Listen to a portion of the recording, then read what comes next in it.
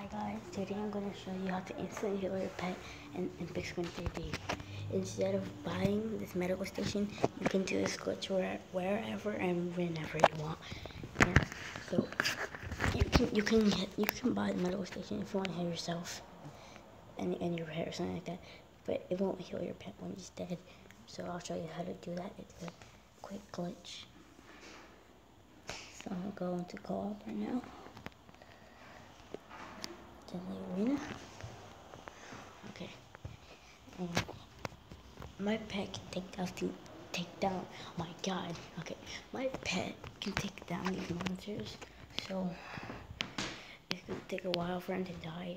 So yeah, I'll see you guys when he's dead. Okay guys, as you can see, my pet is dead right now. What you want to do is go to Armory, go to Pets, and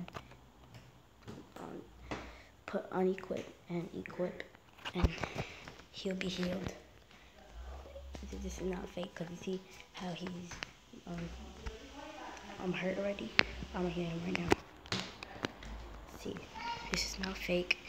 It's 100% real. And yeah, I hope you enjoyed this video. Bye guys.